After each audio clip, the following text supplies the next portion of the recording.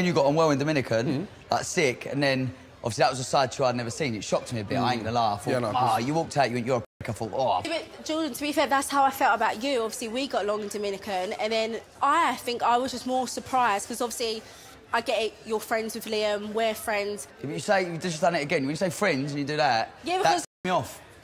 You got, Off but you what? got, I've, I've got no idea. So you just turned around and said, I've got no idea what I'm viewing him. That's sweet. Yeah. But you've got no idea But about I do have an idea because he was my boyfriend for a year. You ain't got a clue. I've known a geezer six years. She used to date my sister. You didn't know that, did you? Anyway, So- but I just thought me, as someone in your situation, instead of adding fuel to the fire, I would have been diffusing it. I, don't, So yeah, it's- but I, I tried to just let me defuse it. I didn't add fuel to the fire. My exact words were, I said it doesn't look good.